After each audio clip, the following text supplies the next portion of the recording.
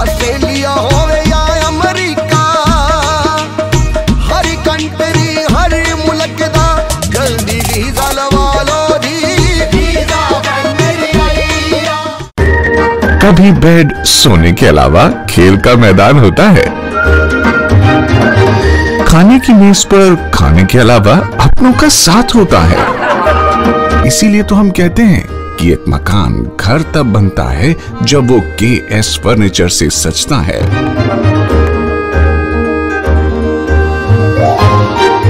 रिश्तों की मिठास का एहसास के एस फर्नीचर के साथ।